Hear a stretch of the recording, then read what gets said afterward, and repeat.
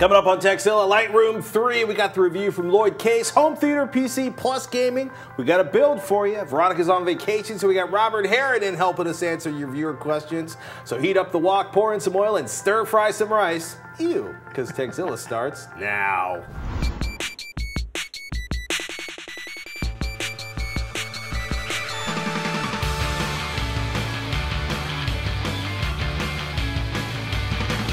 This episode of Tekzilla is made possible by the new Ford Fiesta. It's a pretty big deal.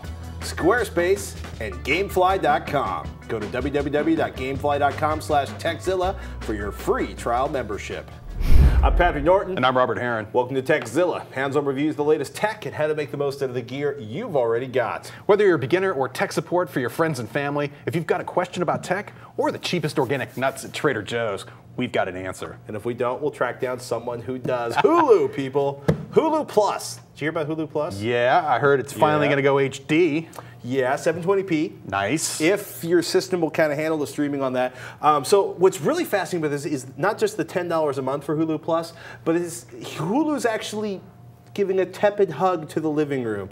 PS3, Xbox 360, Samsung Blu-ray players, various internet-enabled TVs, all ACTVs, all coming under the Hulu Plus banner. Actually, dedicated applications for the iOS on the iPad and the iPhone.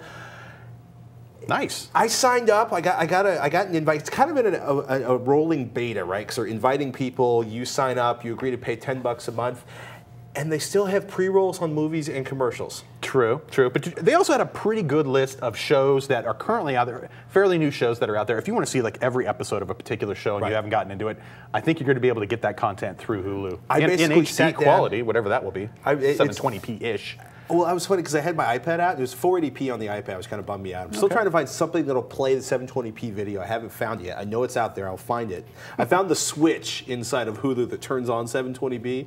Um, normally, it basically scales down from whatever your bandwidth will handle. So I'm, I'm hoping maybe when I restart my system or or go to my big giant Core i7 system in the basement, I'll get 720p. So you're in on the beta? I'm in on the beta. Because it's not available to everyone yet. I, I, I signed up. I'm begging. I continue to beg. I will. I am. I don't ask me how I got it because I, I, I got it. I, I, I stole it from one of our marketing guys. In any case, Finland. This, I couldn't resist this story. No? you should do this one. Hey, fin- Finland has made broadband a legal right now. This- mm-hmm. According to the BBC, they say that on July 1st, every Finn will have the right to access a 1 megabit per second broadband connection and is vowed to deliver 100 megabit per second lines to every Finn by 2015. Nice. Communications Minister Suvi Linden told the BBC, "We considered the role that the internet uh, of the internet in Finn's everyday life. Internet services are no longer just for entertainment." Unquote. Now, according to the article, around 4,000 homes remain unconnected in the country.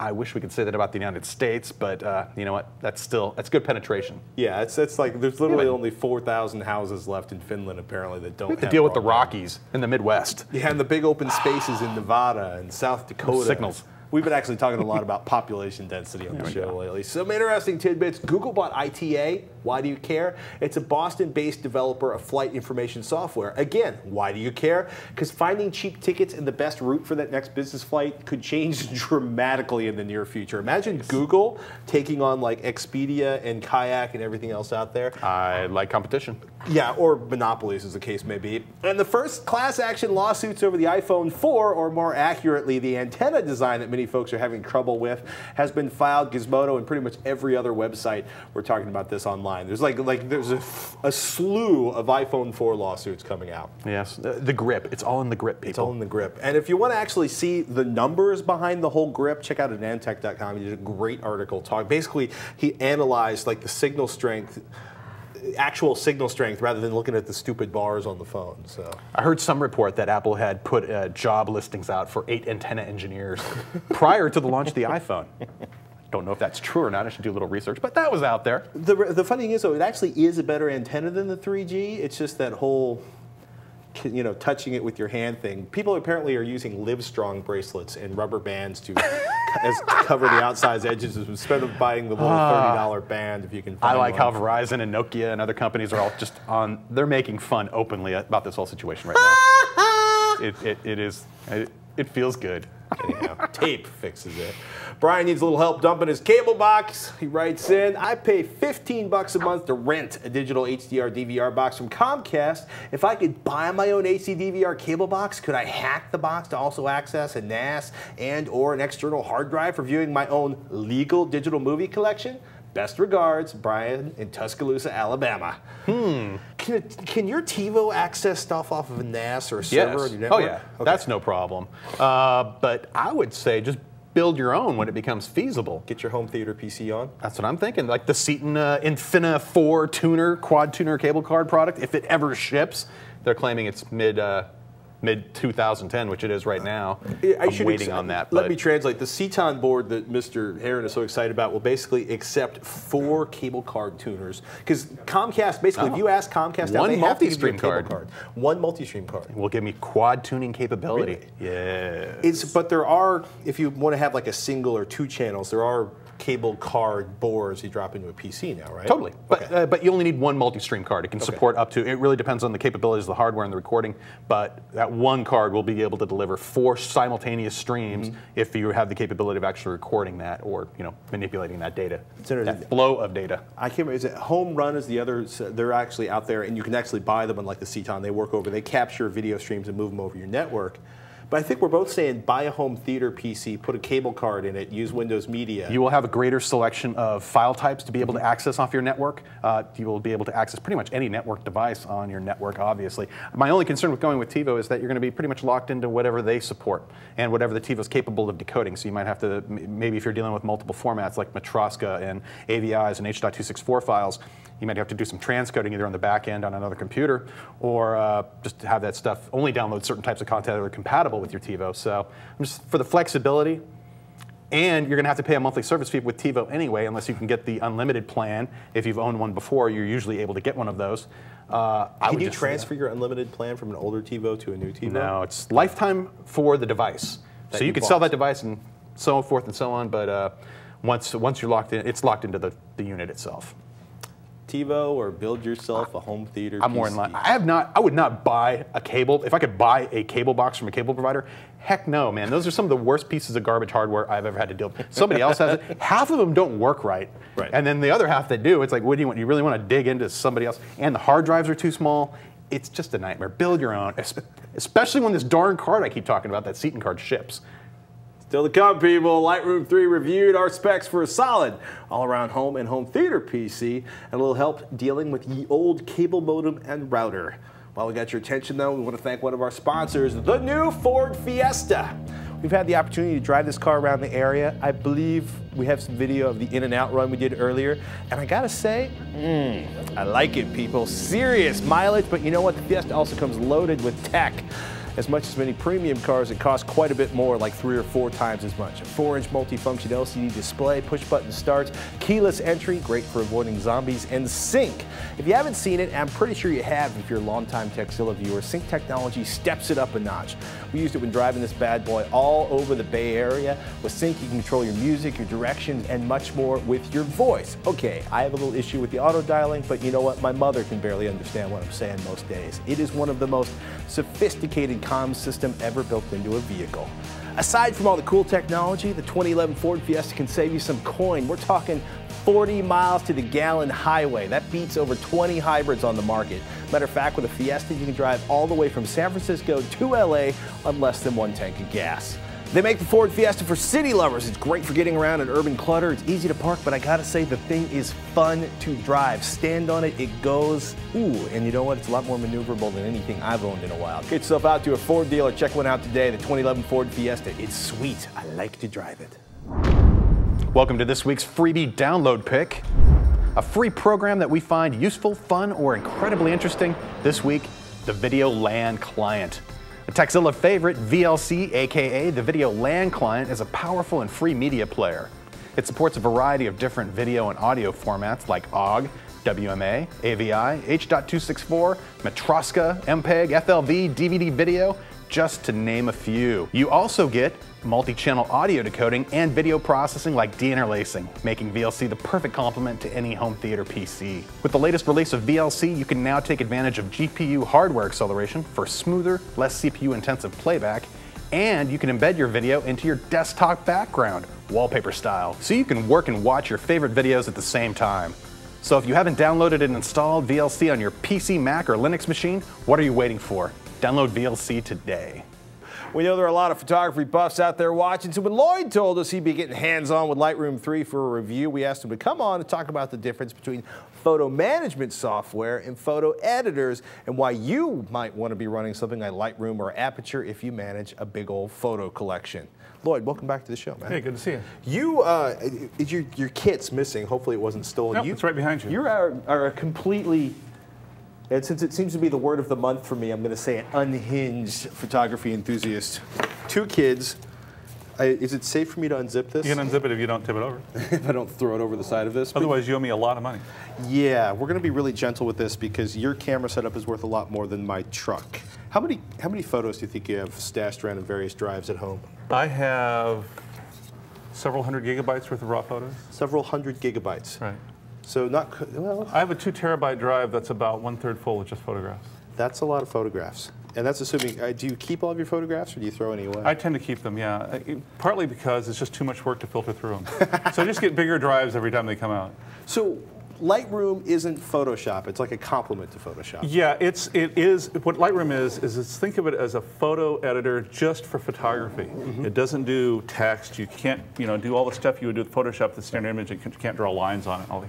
It's just for developing and printing photographs. Think of it as a photo studio for your your PC is essentially what, essentially what it is. And- Aperture is the same way. It's just a photo management and photo uh, specifically specifically for photographers. and So photographers. when you look at Lightroom, do you think of it as like something that makes it easier to sort of delve through your photo collection, or is it primarily just doing the best job possible at, at getting your photos off the hard drive and into the physical world? It's a little of both. It's uh, it- it's a what's called a workflow application as well as an editor. So it manages your workflow. Uh, it goes through the steps of the library steps, you know, where you bring in your stuff from your camera, uh, sort it, manage it, put it into the folders you want to put it into, that kind of stuff. Then it's got the develop part, which is just what it sounds like, where you make the changes and tweaks to your pictures. Uh, you can do slideshows. You can output to printers. It has a really robust printing part too. It's made to print on those big format printers and stuff. I like that thought. Yeah. Tell us a little bit more about the develop panel. What's going on there? Well, the develop panel is pretty cool. It's where you do a lot of your main work, and you can do the basic stuff like remove red eye correction, you know, all that kind of stuff. And you can do things like adjust white balance and all that stuff. The coolest part of it, in terms of Lightroom 3, what they added, two things: noise reduction. Ooh. Noise reduction. It had in, in earlier versions of Lightroom, but it sucked. Turn your fat. That's I mean, basically, it, was, it wasn't noise reduction so much as it was sort of posterization. Right. Like for example, yes, right. I would shoot and high, I shoot a lot of high ISO pictures. I shoot ISO 3200 a lot because I'm shooting indoor sports and stuff like that. Hence your propensity for carrying Nikon cameras and glass around. That's right. And so the lens, uh, the uh, noise reduction now works pretty well. It allows you to pretty significantly tweak uh, in, in a number of different ways. For one thing, you can do things like. Um, not just, let's say, one of the things about noise reduction, you talk about the posterization, it removes detail, right? Right. You, you decrease the noise. So it allows you to sort of tweak the detail, it has a detail slider, allows you to kind of take that compromise fit so you can have Doesn't everyone love the film grain kind of effect? Well, there's film grain and there's you know the color noise, which Right. is really ugly. So So basically, does it, so real-time preview allows you to kind of That's right. select things on the fly Yep. before you. Can. And remember, the other thing about Lightroom is unlike Photoshop, it's non-destructive. Nice. So as you're making your changes, that's saving it off in an XML file, not actually changing the image. That's a big deal because there's nothing worse than finding out like like somebody's been messing around with your computer and like your Right. favorite picture of Yada That's right. turned into your favorite picture of Yada with lots of effects by somebody with maybe That's right. questionable Yep. taste. Not that I'm bitter about an ex-roommate um, who shall be stopped, but what what's going on in terms of uh, uh, do they add lens correction? Is that new also? Well, they had lens correction before. They've added a lot of manual tweaks to the lens correction, so you can do uh, a lot of what's called transforms now. Like I, when I was in Europe, I shot a bunch of pictures of doorways because they have like cool doorways in Venice. great like that. doorways. But you know, I would I would used to be shooting them on the fly, so they'd be kind of skewed one way, and I wouldn't be perfectly you know 90 degrees to the door. You can actually go in and start moving that around and make it look like it's perpendicular so you basically you don't have to be particularly meticulous about your shot. You could you could fix it Right. in post. Yes, to a certain extent. Now, if I'm standing, you know, 30 degrees from the door, and I try, you're going to get distortion when you try to do that much correction. But you can do like a few degrees of correction, and it looks pretty real. That's pretty amazing, actually, when you kids you, you don't expect it, you know, okay, they're going to shift the pixels, but it actually looks fantastic. It looks really good. Is it shifting the shadows, or what's it actually doing? It does a lot. It does a lot of stuff. I mean, it's not just doing one thing. It's not just moving thing around. It's it's changing all. It's basically messing around with the whole perspective of the image. That's pretty crazy. Now, you mentioned there were, there were two big changes that made it particularly Lightroom 3 particularly interesting. One was the fact that the noise reduction That's actually right. works. Was the was the, the lens correction the other one? The lens correction is one of the other ones. Um, it, it's one of the ones I've been playing with a lot actually, and have most, the most fun with. Anything in time there in terms of like the, that it does in terms of managing your library that makes it easier? Can you like batch, you know, edit or Yeah, you can. batch do- comment on It's it's a little better at doing things like uh, telling, batch copying and batch renaming and stuff like that. The real the other addition that I like is a lot of the output stuff has been improved. There's a lot new, of new templates for printing, so you can do all kinds of really wacky collages and stuff like that. Or just if you just want to do um, a lot of thumbnails and things like that to look at pictures on, on a printer, what it would look like on a printer, then you can do that too. What's Lightroom running these days? I think the retail's three hundred dollars. You can find it a lot cheaper than that online. Would, would you consider, like, I'm, I'm laughing not because it's particularly funny, I'm just like, you know, just when you thought you'd be able to get an amazing camera for under 300, you. Right. now, uh, the people who have Photoshop often should I get Lightroom too? And the short answer is only if you need sort of the special workflow stuff Mm-hmm. library management, because a lot of what's in what's called Camera Raw in Photoshop is what Lightroom does. Oh, really? Uh, just a more, more sophisticated and friendly user interface. That's an interesting thought. In terms of workflow management, is that something you find yourself using, or is that more like More. I'm a professional photographer and I shoot like a million pictures a week? I, I'm doing it more and more, and, and I'm finding it, it. Previously, I would use something called Bridge, which was also an Adobe app, but this is a lot more flexible and sophisticated than Bridge for that kind of stuff. What kind of stuff are you doing with it mostly? Uh, in terms of photo management? Oh, it's just the sort of managing the library stuff. Okay. So it's the, the fact that it automatically date sorts and stuff like that and, re, and, and names folders for you so you don't have to worry about that kind of stuff. That's actually really convenient. Mm-hmm. Flickr, Picasa, would they be considered sort of low-end versions of, of something like this? Well, Picasa, of course, is a standalone app. Flickr is online. Uh, Lightroom actually integrates with Flickr, so you can actually publish to Flickr and stuff like that automatically. Uh, but Flickr is not really a photo management. I mean, it is sort of, but Picasa is probably a little better because you have the, it, the integration between an application and, and, and the Picasa website. But now with, with Lightroom, you can do that with Flickr as well. Ladies and gentlemen, if you've been wondering what these photo management tools are all about, I hope Mr. Lloyd answered that question for you. We'll probably have you back on in a few weeks. What's the best place to find the latest in Lloyd online? Uh, Maximum PC, uh, PC World, improbableinsights.com, and you can always find me on Twitter. Twitter.com slash Lloyd Case. People, follow him if you're not. There's good, good stuff coming from this man. Coming up next, are you thinking about building a new PC? You're going to love our next question. Right now, though, we want to thank one of our sponsors. Squarespace, people. It's a publishing system, it's a hosting system. You want to make yourself an amazing website? You should be checking out squarespace.com. I don't care if it's a blog, a portfolio, something big for your business.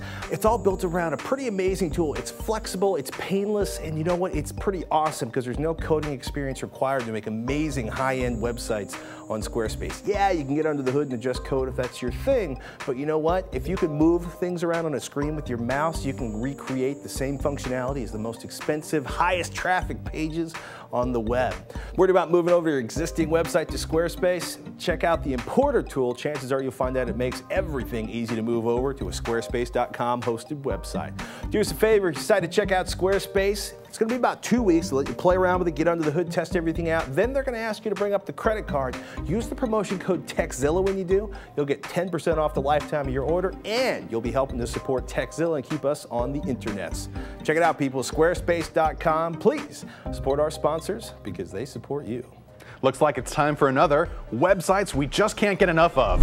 A website that we just can't stay away from because it's too useful, too funny, or just too darn irresistible. This week's pick Slash Film. Do you rely on your friends to tell you what's up in the world of movie news? You don't have to. This movie blog covers all sorts of movie news and reviews as soon as it's available. Be the first to find out who's being cast in Scream 4. Watch an exclusive interview with M. Night Shyamalan. Did you hear Judd Apatow's producing an upcoming Pee Wee Herman movie? Read reviews of the best movies right out of the Sundance Film Festival, Tribeca Film Festival, and more. Watch trailers for every movie under the sun, domestic and nationwide, as soon as they're released. Find out where to buy that Smurfs Avatar mashup t shirt. Be notified of the latest deal on your favorite Blu ray movie. Did you know there's a shirtless Captain Kirk cologne? So if you fancy yourself a film buff, budding auteur, or just love movies, then be the first to hear about everything related to movies at Slash Film. We got a question from Germanico who writes in I want to build a real home theater PC and use it for other things like gaming, ripping, watching DVDs and Blu rays, and running Adobe's Creative Suite 5. I'm going to be running Windows 7. What software will I need to rip and watch DVDs and Blu ray movies, and what kind of case, CPU, and GPU should I pick? I'll be playing games, video at 1080p resolution, and it must be quiet. I was thinking of the AMD 6 core processor or Intel's i720, Germanico in Quito, Ecuador. Now, if you were doing just a home theater PC and you weren't really looking for the gaming side of things, I love Intel's Atom G, uh, CPU combination with NVIDIA's Ion graphics for a low power home theater PC. I'm thinking you're going to want at least a dual core system, though. And Right. you mentioned that six core AMD processor. Uh, I think you're good there. It's the gaming part that could give you some trouble. We'll get to that in a second. Now, Patrick and I both use any DVD HD and Handbrake for archiving DVDs and Blu-ray movies. Uh, a lot of folks swear by the free version of DVD Fab HD Decryptor. Free is a lot less expensive than any DVD HD, and DVD Fab works pretty well getting around most content protection that we've seen. Yeah, I mean, the whole point, Handbrake basically actually rips the information and compresses it into a file format. It's a transcoder. Yeah, what any DVD does is, is get around the copy protection. Illegal in the United States because it's a violation of the Digital Millennium Copyright Act, uh, unless you're rich and, and own a Kaleidoscape system. But let's not even let's not That's licensing. Let's let that one go. Um, for the rest of the world, though, it, sh- it should be fairly legal depending on your local law. I like the AMD 6-core CPU, but I'm currently personally rolling with a Core i7-920 in, in my first high-end home theater PC, or, uh, home period. It's the only high-end PC I've built in years. Some apps in Creative Suite 5 are going to take advantage of all those cores, pairing it up with at least 4 gigabytes of RAM, and an ATI 5770 will do solid gaming, though you can spend a bit more and get more oomph out of your games. The thing is, the resolutions on an HDTV aren't particularly, they're not super high, and, and depending on the video games, you need to do a little bit of research to decide if you're into the super high-end video games, you might want to spend a little bit more on your graphics card, but the, for like 150 bucks, 5770 is a good start. Yeah, I'd say though, if you plan on gaming at Yeah. 1080p resolution, though, you're going to need a much powerful graphics card than Okay. that. Either like a 5850 would be Oh. about the minimum I would go with, and I'm, I'm using a 5870 right now. And if you want to turn everything up, you're gonna need hardware like that. Don't don't kid yourself. That's just you. It sounds like you got the CPU part in in mind, uh, four gigs of RAM and so on. And also, uh, a lot of the home theater PC specific cases feature those annoyingly bright LCD displays on the front that we've seen. I've, I've had ones that I could actually read by across the room. Really? I- this I- ruins. I'm the kind home of done theater with the whole bright light thing, Yeah. especially if it's in any way visible and distracting. That's just it, it- no, I'm not No. there. Uh, we've even some that required uh, proprietary power supplies Yeah. to run those displays, and uh, or just the lighting systems in general. I, I just go for a solid desktop case, and uh, if you're going to go with an ATX motherboard, or if you want something that blends better with your living room. A mini ITX Mobo is a much in a much smaller case can be done, and I, I have to say, mini ITX. It, if you can live with the limitations of the size of the motherboard and the features it supports, it's so nice to work on something that small and to be able to put that in and your power requirements drop yet you can still maintain you know Right. high-end cpus usually one slot for the graphics card you know there you go uh, you can always check out antec's performance one lineup of cases for atx mobos and the Super uh, quiet. Those are really super quiet. that's my other big requirement nowadays i don't want to hear the darn thing also uh, they have an isk series if you want to go with the mini itx mobo that's also worth checking out Yeah, uh, Antec, I, I really, I, I own a lot of Antec cases.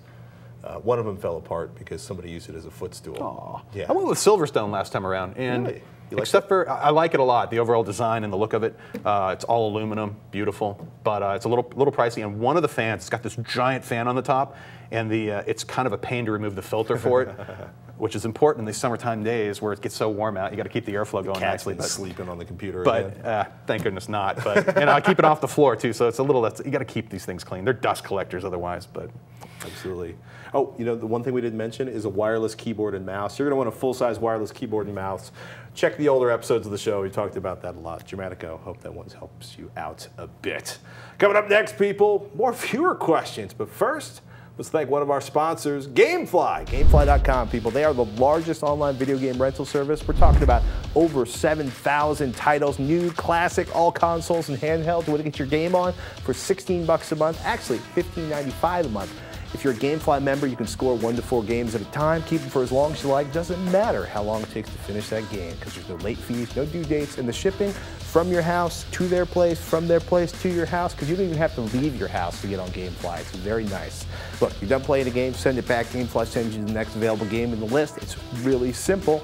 You want to buy the game, click keep it on the GameFly website. You're going to get the game at a discounted price. GameFly will even mail you the case and manuals free of charge. Want to try it for free? Tekzilla fans get a two-week free trial. Just go to gamefly.com slash Tekzilla. Server restrictions do apply. Please see the site for details. And please support Tekzilla's sponsors like Gamefly.com. Viewer named Bob in St. Charles, Missouri writes in, whatever happened to piezoelectric chip cooling fans for PCs? Were they too expensive or not efficient? I heard a ton of hype about them in 2006 and not much thereafter. Just wondering, sign Bob in St. Charles. M.O. I was reading this, right? And at first I thought you meant Peltier coolers. They're thermoelectric devices made from two, basically two different metals that create a temperature difference when you apply a voltage to it, right? Oh, yeah. They, remember they got sand, like you put a regular cooler or a water cooler on top, piezo cooler, and then the processor. And Peltier coolers are also called cold plates, are essentially solid state refrigerators or heat pumps. And they're pretty scarce these days. Frozen CPU sells them raw and built into water blocks. They're interesting for overclockers because they can reduce temperature below the ambient temperature of the air or water moving over it. They're great for setting records, but they are prone to creating condensation problems if not properly installed. And that's all I remember. You ended up Yeah. with a very hot component and something that's basically developing frost. Yeah, all at the same time. And, and then I realized you were talking about piezoelectric fans, right? Piezoelectric materials either move uh, when electricity is applied to them or they generate electricity when they're bent or twisted, or as Wikipedia says, in response to applied mechanical strain, which is twisting. If you've used like a scanning, I want to say electron microscope or, or maybe a scanning probe microscope or a push, mostly a push button starter lighted grill, you've got your piezoelectric technology on. There was a pretty big push on some tech blogs, uh, probably around a press release. I, I want to say Piezo Systems was the name of the, the, the manufacturer. They still make and sell piezoelectric fans. They're pretty slick actually. They're single blade devices that flap. Or to read the description on piezo.com, piezoelectric fans have a flat geometry and shed vortices of air from the leading edge of their vibrating blade, which means they flap. It's an interesting concept, and it's pretty much silent. But we're talking about a half a cubic foot to two cubic feet of air per minute. Your typical PC cooler is moving 40 to 60 cubic feet per minute if it uses fans at all, because basically they figured out they could create these gigantic monstrosities and actually create enough surface area where you didn't necessarily need a fan or an external fan or something other than the case fan to move air across it. Interesting idea, the piezoelectric coolers, or fans, I should say, but not real useful in terms of moving heat inside most PCs. So they're still out. You can buy one from piezo.com. I don't know what it's going to cost you. I'm all about air coolers. Yeah. Yeah. Or sealed systems in general. Even just- better. Mhm. Or Less- a closet with an air conditioner and a filtered air. So, oh, you- I ain't going to start. Who wants some cable modem help? Gavin does. Gavin writes in, I have a really old cable modem and I want to upgrade to something that includes wireless. I do a lot of downloading and gaming as well as streaming videos through my Xbox. I was wondering what routers you would suggest at the high end. I looked into a Motorola Surfboard SBG6580 since it would be a dual modem and router, but I can't find any reviews of it. Thanks, Gavin. I didn't even think actually Motorola sold like I, I the like I didn't think you could buy the surfboard wireless modems in, in terms of the public, right? I saw a bunch up on Oh, no. eBay for like 250 bucks, 220 bucks. Well, I was interested in getting a DOCSIS 3 modem for my cable service so I could get the, you know, if I when I eventually want to move up to 50 megabit per second speeds and pay through the nose for it, I'd have a modem that I owned because I'm also renting the modem from the cable provider for Oh, about no. three bucks a month. I bought a cable But modem it's- immediately. But it's three bucks a month, and you got to leverage that against the cost of the product you're about to buy. Like if I'm going to spend 100 bucks, how many months of service would that be before I actually get my money back out of it? I bought my first cable modem for 50 bucks. I've had it for five years, which means I've saved three times 12 times five. Good which money. Is a lot more than. Good money. Yeah, I've saved money. See, I've also needed to upgrade a modem too, so it was really nice. I had a problem with the modem, so it was, oh, I- I'm renting, so I just take it back and get exchange it for another one. Anyway, this particular product you're looking at is a DOCSIS 3 modem with a 4-port gigabit switch built into it, is router, as well as uh, 802.11 and Wi-Fi. So it is really everything in one. I'm a little leery about those all-in-one products, but it is compatible with most cable companies. Uh, at least I know with Comcast, they're Yeah. big on the whole surfboard thing. So I mean, the nice thing about cable modems is they're all all cable modems are essentially certified by the same organization, Cable Labs, which is run basically by cable companies. Personally, though, I keep your Wi-Fi router and your cable modem separate because unless your cable company has updated things on their end, you're probably not going to actually gain anything upgrading the cable modem on your end. Yep, I have a gigabit N router with Right. wireless and uh, four-port gigabit switching uh, for about half the price of what that product's going to cost you from Motorola. And then I, okay, say 75 bucks left, and you could either rent that modem for, like I said, three to five bucks Right. a month. It's usually closer to three. Way the costs out there, but I, I still prefer having separate devices, like you said. Yeah, I- I mentioned last week, Netgear's a $150 WNDR3700. That's pretty much the wireless end router to beat at the top of the line for 80 bucks or so. Uh, Buffalo's WZR HP G300NH is still getting marks for solid performance, especially if you have basically issues in corners of your house or the, the far edges of the living room and stuff like that. External antennas on that bad boy. Uh, it's worth checking out. Both will support 802.11g if you don't have any end clients yet. If you don't have any end devices yet, like your computer or your notebook or your you know iPad or whatever it is, um, you may want to go with like a 50, a cheap $50 uh, 802.11g modem or 802.11g modem. Like the BG modems Yeah. are out there, and they're popular, and they're, they're affordable You buy well. them on Craigslist for like eight dollars now. So I'm just saying, you know, because end, end routers are, should continue to get better and get cheaper over time. Have you heard the news, people? Revision 3 has an official, official iPhone app. Now you can go watch Revision 3 on the go with the new official Revision 3 iPhone app. Watch all your favorite Revision 3 shows like Dig Nation, Tekzilla, AC Nation, App Judgment, and more for free on your iPhone. You can find that in the iTunes store for download or go to revision3.com slash iPhone for more information. And in other news, I am sad to say the internet sitcom Web Zeros here at Revision 3 is coming to an end. This week, the tale of pursuit of internet stardom comes to a close, and we say goodbye to our pals Nate, Alex, and Ray. Don't miss the last episode, people. The series finale coming out this week at revision3.com slash web zeros. And don't worry, if you missed an episode, you can go back and catch up on season one and season two, all at revision3.com slash web zeros. Hey, for everybody watching out there, we live on your questions, so email us, tekzilla at revision3.com, tech help, product reviews, how-tos, you ask us, we'll do it. But we need your email, so don't be shy. Send them into tekzilla at revision3.com. Even better, send us a video question. Think of all the fun you can have at the and the admiration of all your friends and family when they see your mug on the show. Just keep it to 15 seconds, upload to YouTube, and send us the link in an email with video question in the subject line. And as always, you can visit our forums at revision3.com slash forum. Mm-hmm. Share your thoughts, ideas, and comments with other fans of the show. Thanks so much for watching. I'm Patrick Norton. And I'm Robert Heron. Until next time, you've been watching Tekzilla.